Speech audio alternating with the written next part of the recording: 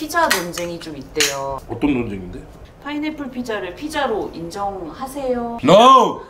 누가 장난친 거야? 누가 기교 부린 거야? 피자는 오리지널 클래식 해야지 크크 피자처럼 치즈, 불고기 나는 솔직히 말해서 진수 형이 여기 파인애플을 올렸다? 뺨 올렸어 내 친구가 남긴 피자 엣지를 내 애인이 먹는다면? 으아! 야! 상당히 좀 불편할 것 같은데? 야 그걸 왜 먹어? 네가 이럴 것 같은데 해결 방법이 있긴 해 아 뭐예요?